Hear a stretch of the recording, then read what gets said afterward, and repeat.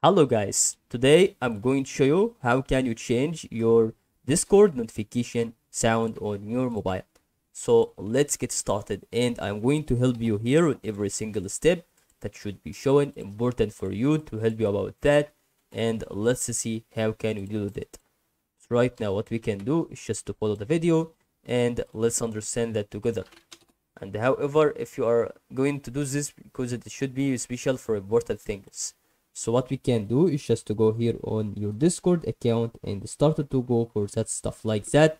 And after that here, you will start to uh, go through the part where you are going to scroll or going on right now like there. Scroll from right to left and here it is.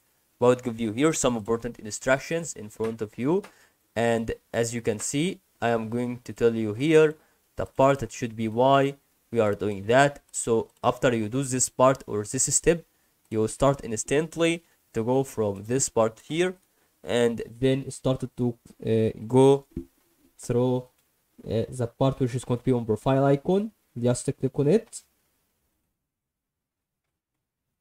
And after you click on it you will start to scroll down. So here it is. And let's see what we can do through every uh, single part that we are going to show you here guys. So about to give you here some simple things. So if you are going to look for that start to click here on notifications. If it has to appear for you after you scroll down a little bit then click on it.